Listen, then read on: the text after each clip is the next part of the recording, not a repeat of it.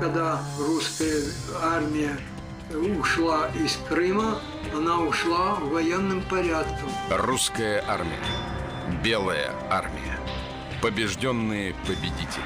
Воины увольнялись не в отставку. Они числились как бы в запасе. Они навсегда лишились Родины, но навсегда остались в строю. Их объединяла новая структура – Русский общевоинский союз. Но они своим всему миру показали, русская армия все еще существует. Я это все помню, как будто это сегодня. Российские солдаты и офицеры в изгнании. Их судьбы, Воинский дух сохранялся до смерти.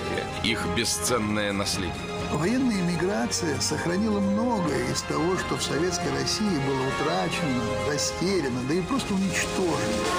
Присяги верны. Премьера. В среду в 23.15 на канале «Россия».